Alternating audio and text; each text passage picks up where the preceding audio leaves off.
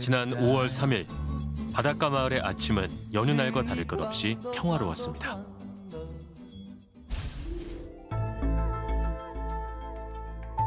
바람이 조금씩 강해지던 점심 무렵 부둣가에 소형차 한 대가 멈춰 섭니다.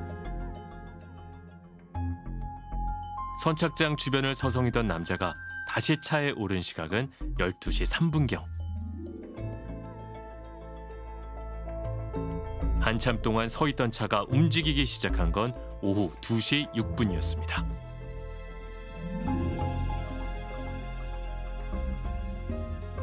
그런데 갑자기 바다 쪽을 향해 그대로 돌진합니다.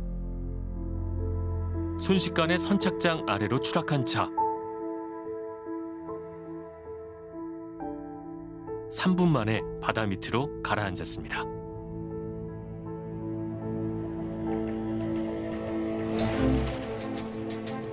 사고가 일어난 곳은 부산의 동백항.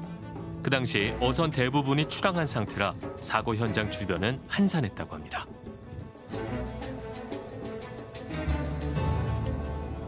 어, 왕아 모르겠어, 너가 이용이용 해가 알았지 뭐 우리는 바다 갔다 바다 일 갔다가. 빠지 갖고 어. 이뭔 일이고 이래가 노래가 봤지 현장에 있었던 목격자와 추락한 지점을 찾아갔습니다. 당시에는 건물이 없었고 네. 여기 이제 차가 돼 채워지가 있었는데 요 자리가 요 기둥 때문에 기둥이 무조건 부딪힙니다. 기둥을 딱 피해서 딱 들어가지 않습니까? 예. 사고가 있던 그날 추락한 위치에는 떨어지는 차를 막아줄 장애물이 없었습니다. 선착장에서 유일하게 방지턱이 없던 자리였습니다.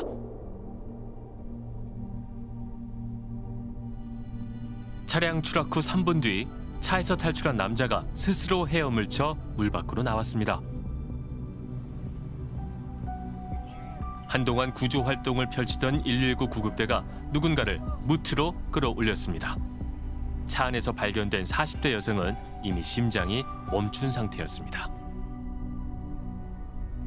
함께 바다에 빠졌지만 생사가 나뉜 두 사람. 그들은 친남매 사이였습니다. 어, 남매가 아니라 네, 남매가. 야, 동생, 동, 친동생. 네, 여동생. 오빠 김 씨는 여동생의 운전이 미숙해 사고가 났다고 주장합니다. 동백항 추락 사고의 원인을 알기 위해 PD수첩 제작진은 사고 당일 동백항 부둣가를 비추던 CCTV 원본 영상을 구했습니다. 5월 3일 오전 10시부터 자동차 인양 작업을 마친 이후인 저녁 8시까지 약 10시간 분량의 영상을 모두 확인했습니다.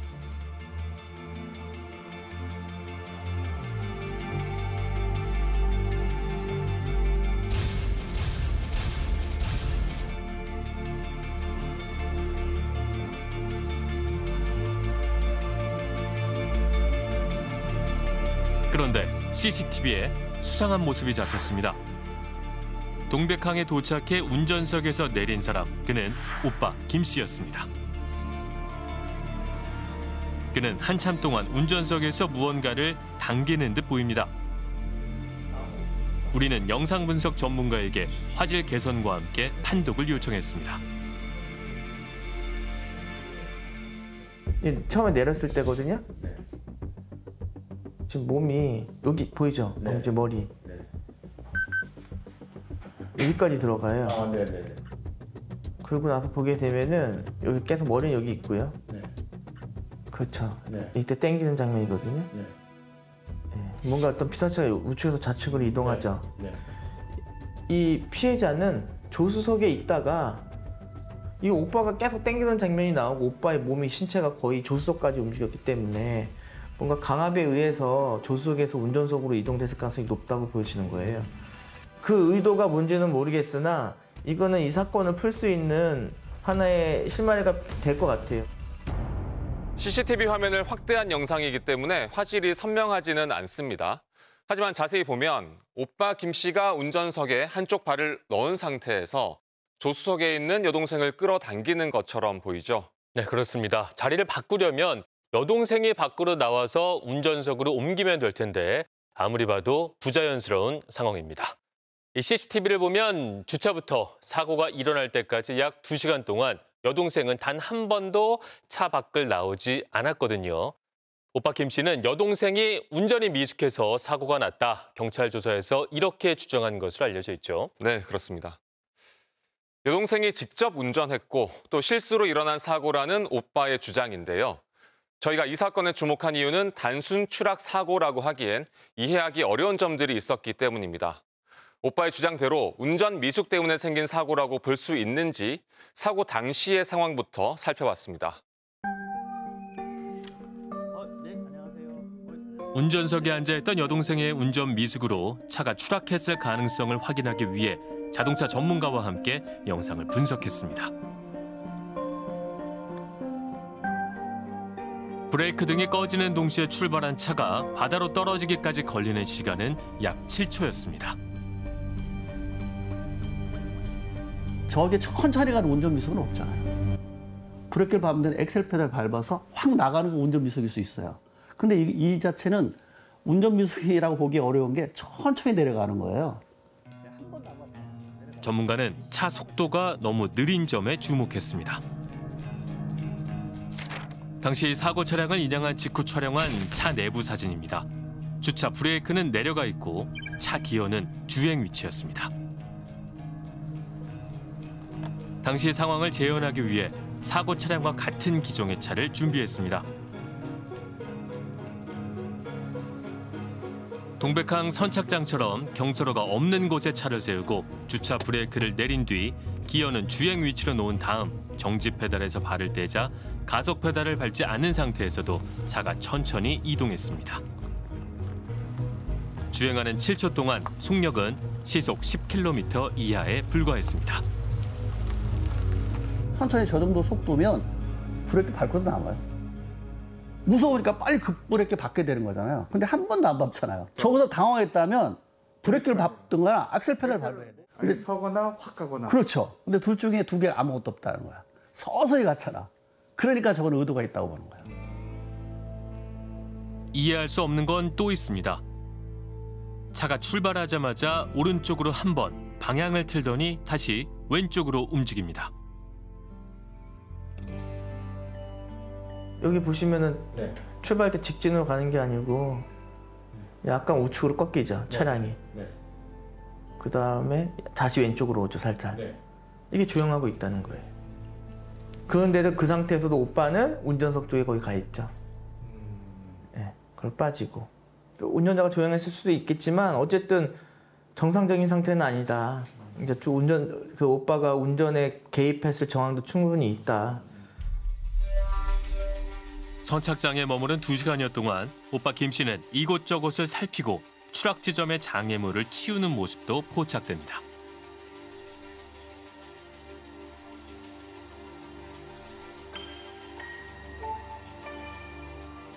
이해하기 힘든 행동은 또 있습니다. 뒷좌석과 트렁크에 있던 짐 여러 개를 꺼내더니 전봇대 아래에 내려놓습니다. 굳이 사고가 나기 전 짐을 뺀 이유는 뭘까? 추락 이후 물에서 나온 오빠 김 씨가 구급차로 옮겨진 직후까지 짐이 그대로 있었습니다.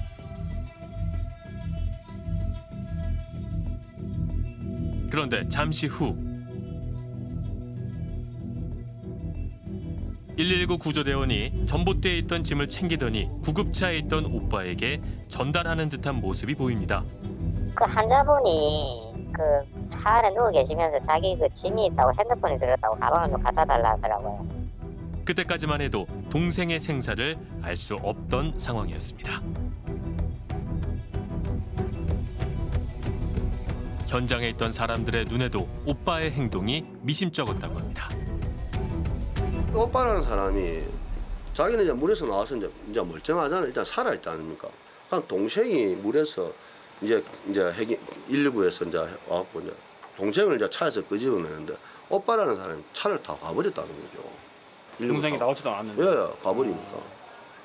보통 사람이라면 뭐 잠시만 기다리라 동생 좀 내가 보고 가야 되겠다 하면서 울고불고 자기가 난리를 치고 난리를 칠 건데 동생을 올리기 나오기 물 밖에 나오기 전에 번- 자기는 엠블란타가 가버려 웃기는 거죠. 그래서 자기는 이제 확신하는 거죠. 죽었다고. 함께 물에 빠졌는데 오빠만 탈출한 과정도 석연치 않은 부분입니다. 추락 직후 차는 3분 동안 떠 있었습니다. 바다에 가라앉기 시작하자 그때 오빠가 탈출합니다. 그는 어떻게 차에서 빠져나올 수 있었을까?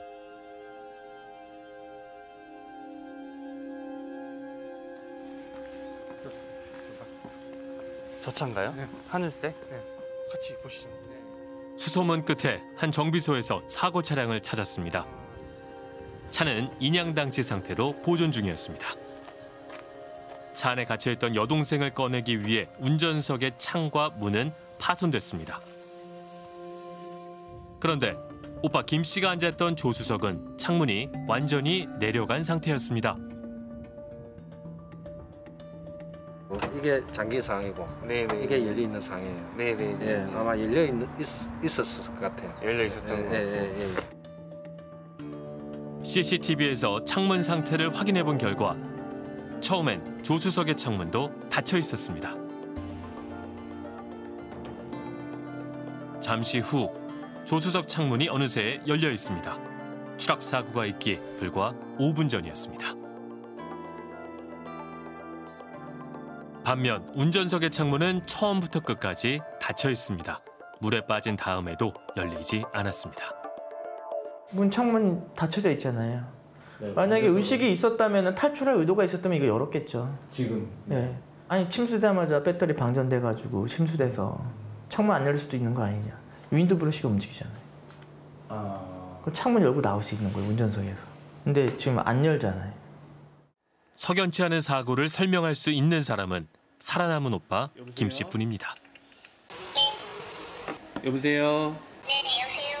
아, 예, 안녕하세요. 혹시 핸드폰 번호 아닌가요? 네 누구세요? 아, 안녕하세요. 저 MBC PD수첩 황준호 PD라고 합니다. 네.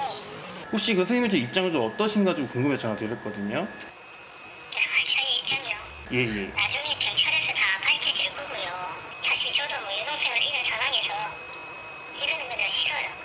그 하시, 하고 있는 그 의혹이 잘못된 거라면은 저희한테 사실을 말씀해 주시는 게 낫지 않겠습니까? 나 전화 끊을게요. 네, 말씀 좀만 더 부탁드릴게요.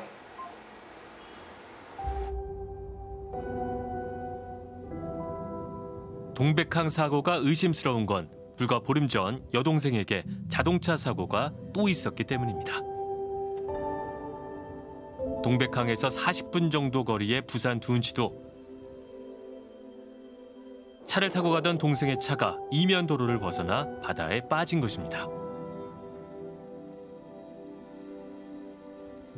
수심이 얕아 다행히 생명의 지장은 없었습니다. 그 당시엔 단순 사고로 처리됐습니다.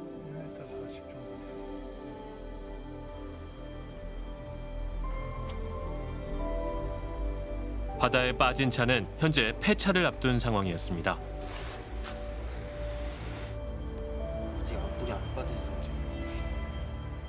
운전석까지는 물에 잠겼던 탓에 차 안쪽은 지금까지도 침수 흔적이 고스란히 남아 있습니다.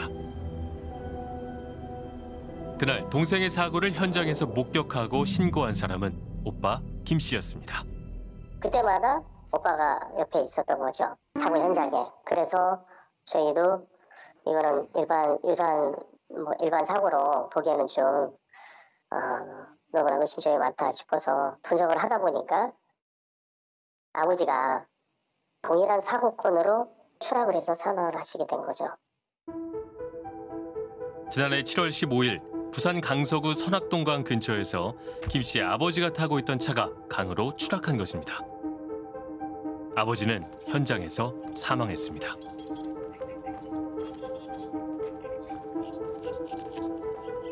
사고 현장은 아버지가 자주 찾던 낚시터였습니다. 나는 이해가 안 가는 게 저기 풀이 많이 나 있단 말이죠 저기. 빠진 쪽이. 저기는 차가 들어갈 이유가 없는 거예요 저쪽으로. 그렇거나 뭐 이야기 들으니까 아들이 왔다 갔다 하더라고 나요 그래 이거 챙겨 가고 아들이. 아버지 같이 가입시다. 그래 갔는데 아들이 먼저 가고 이제 좀 챙겨 갔는데 안, 뒤에 안 오더라네요. 신고한 당사자는 이번에도 오빠 김 씨.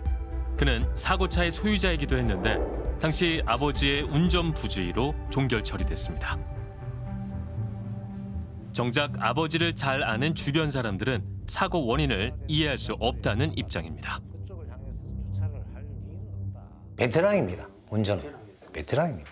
그분이 제 회사에서 어떤 차를 몰았냐면은 대형 트럭을 몰았었어요. 그것도 단거리가 아니고 장거리로 왔다 갔다 하고 지금까지 저하고 같이 일을 하면서 조그만한 어떤 뭐 접촉 사고라든지 사고가 일어난 적이 없었어요. 그래서 운전 미숙은 있을 수가 없습니다. 10개월 사이에 일어난 세 번의 자동차 추락 사고와 두 명의 죽음. 모든 사고 현장에 있었던 오빠 김 씨는 아버지의 사망 보험금의 대표 수령자였습니다.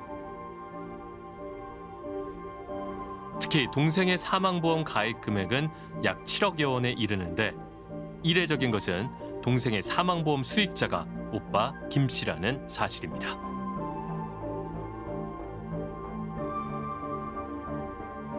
보험을 계약할 때 피보험자 사망 이후 보험금을 받을 수익자를 정합니다.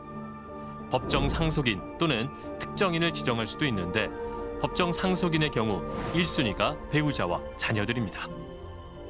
여동생에게는 법정 상속 1순위인 남편과 아들이 있습니다. 보통 그 사망을 하게 되면은 법정 상속인인 가족이나 직, 직계 예, 아들이나 뭐 배우자한테 이렇게 가게 되는 건데 이, 이 사건은 희한하게 이제 오빠한테 수익자를 지정을 해놓은 상태였고 그리고 원래는 5천만 원의 보험이 계약이 돼 있었는데 사망 시에 5억으로 중간에 변경을 했어요. 사망 직전에요. 우연히 반복된 단순 사고일까? 보험금을 노린 의도적인 범죄일까? 한 생명을 앗아간 동백항 추락 사고의 비밀은 아직 밝혀지지 않았습니다. 현재 경찰은 동백항 사고는 물론 이전에 일어난 두 건의 사고에 대해서도 재수사에 들어갔습니다. 보험 사기 피의자로 입건돼 불구속 수사 중인 오빠 김 씨.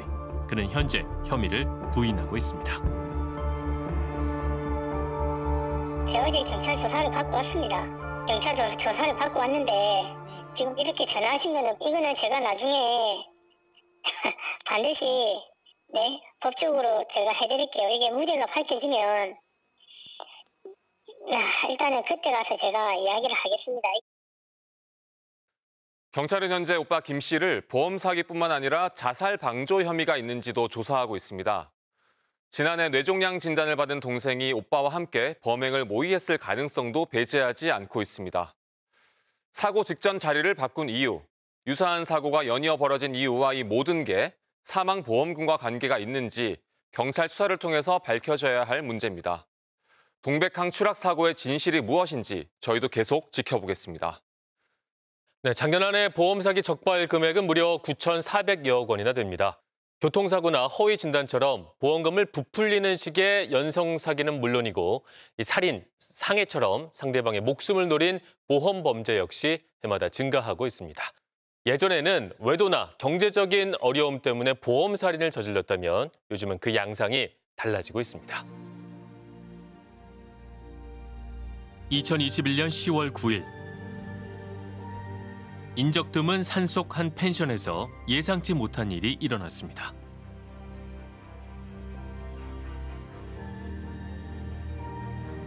당시 친구들과 황금 연휴를 즐기던 A 씨가 그날 밤의 목격자였습니다. 이제 저희가 한 밤 11시 정도 이제 다 놀고 나서 이제 좀 뒷정리 하려고 이제 일어나려는 순간에 어디서 여자 목소리가 들렸어요. 저 좀 도와주세요. 이렇게. 돌담이랑 그 펜션 건물 사이에 공간이 있는데 거기에 한 여자가 이제 피범벅이 돼가지고 이제 빠져 있는 거예요. 이제 사진으로는 잘 안 나오는데 온통 피범벅이에요. 여기 세 부분도 그렇고 여자분이 이제 발부동 치다 계속 잡으셔가지고 뭐 칼에 찔렸다는 말씀을 하기 시작하더라고요. 그래서 저희는 잘못 들은 줄 알았어요. 그 여성은 남자친구와 함께 펜션을 찾은 손님 중 한 명이었습니다. 밤 10시 30분경 남자친구는 그녀에게 줄 선물을 숲속에 숨겨놓았다고 했고 그녀는 선물을 찾으러 숲으로 향했습니다. 앞으로 닥칠 일을 전혀 예상하지 못했습니다. 가로등조차 없어 캄캄한 길을 헤매던 그때 갑자기 누군가 그녀의 뒤에서 흉기를 휘두른 것입니다.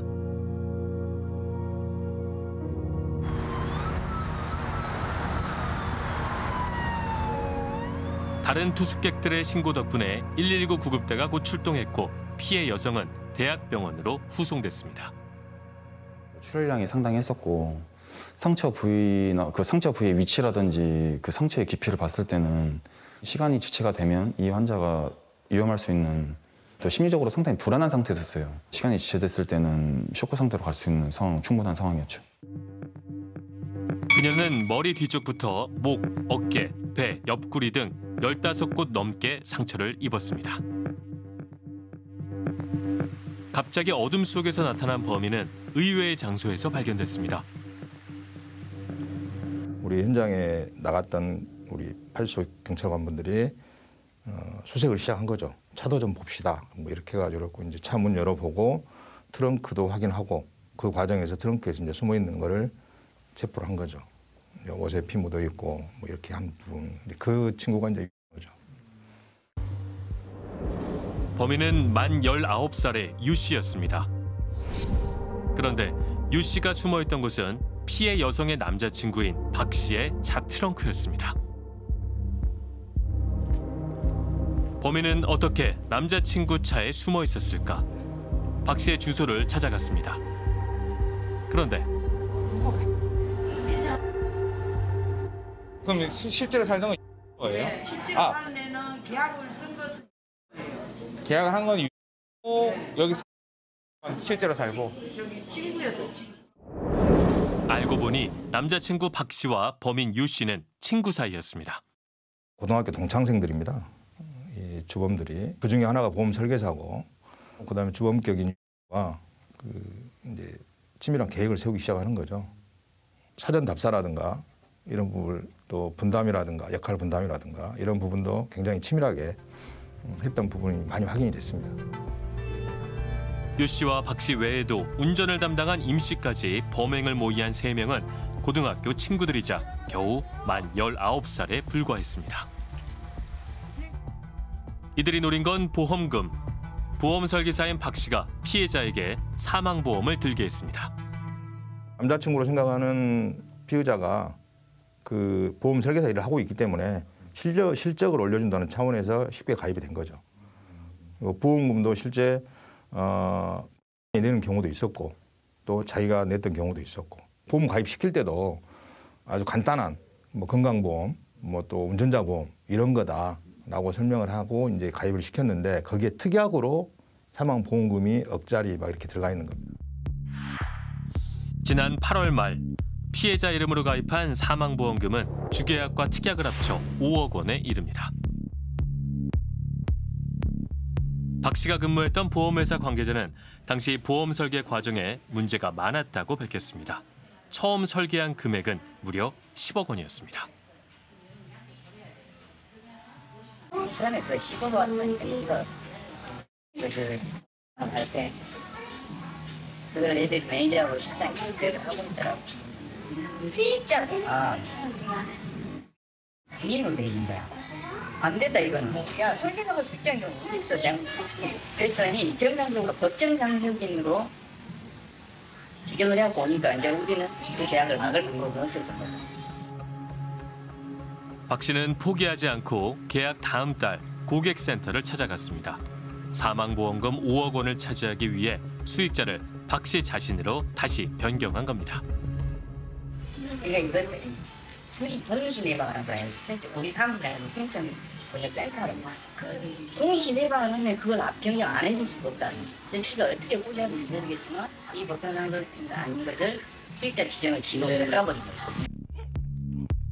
설계한 살인 계획을 완성하기 위해 범인들은 행동에 나섰습니다. 답사차 펜션 인근 마을을 여러 차례 방문한 것입니다. 가들이 내가 여기서 밭에서 일을 했는데 한 5일 간격으로 이렇게 왔다 갔다 하더라고. 배- 그 아우디 차 타고 배- 아, 외제차. 예. 저놈들이 뭐 이렇게 왔다 갔다 하고 그랬는지 한두 대가 꼭 왔다 갔다 하더만 하나 까만 차고. 아 두 대가? 두 대가. 이들이 애초에 계획한 장소는 펜션이 아니었습니다. 해발 750m 높이에 설치된 구름다리. 바로 이곳에서 추락사로 위장하려고 했습니다. 그러다 직접 살해하기로 계획을 바꾼 겁니다.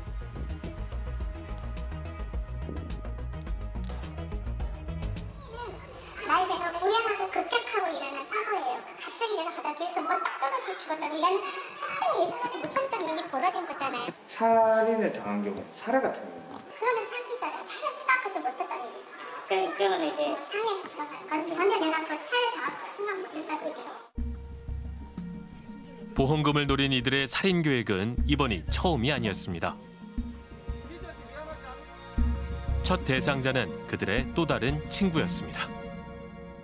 그 3월 달쯤에 뭐 보험 조금만 들어달라 업적 하게끔 그래서 아, 뭐 알았다 뭐 그럼 뭔데? 라고 하고 그 서류를 봤을 때는 사망보험금이었어요. 실적 올리겠다 해서 이 사인만 해주면 된다 라는 식으로 이야기를 해가지고 그런데 자신에게 한 여성을 소개시켜주며 혼인 신고를 유도했다고 합니다. 강 씨라는 여성이었습니다. 걔, 그 강씨를 좋아하긴 했어요. 그래서 이제 뭐 엮어주겠다 뭐 이러고 있다가 야 너네 만날 거면은 차라리 그냥 혼인신고를 해라 약간 이런 식으로 이야기를 해서 애들이 억지로 반협과? 이래야 되나? 덜컥 강 씨와 서류상 부부가 된 것입니다. 경찰 수사 결과 강 씨 역시 한패였습니다. 배우자가 되면 사망보험금의 법정 상속인 1순위가 되는 점을 노린 것입니다. 자기들 수익자로 해버리면 의심받을 소지가 있잖아요. 그러니까 여자로 하여금 사귀게 만든 거죠. 그래 이제 그 친구가 강 친구인데 강하고 이제 김모 씨하고 어, 혼인신고가 되는 거죠. 그래서 보험 수익자를 배우자로 한 거죠. 김모 씨에 대한 사망 보험금은 이제 강 배우자가 받는 걸로. 그때부터 피해자들은 그에게 여러 번 등산을 유도했습니다. 그리고 나서 이제 뭐 산에 가자니 뭐 그 운동하자니 이런 소리를 듣자마자 의심까지는 했어요. 그래서 그때부터 약간 손절을 한 거죠. 펜션에서 목숨을 잃을 뻔한 피해 여성의 경우 첫 만남부터 계획적이었습니다. 보험 설계사 박 씨가 그녀와 사귀는 척 연극을 한 것입니다. 거액의 사망보험금을 위해 이들은 피해자를 물색하고 각본을 짠 다음 성공할 때까지 살인을 시도했습니다.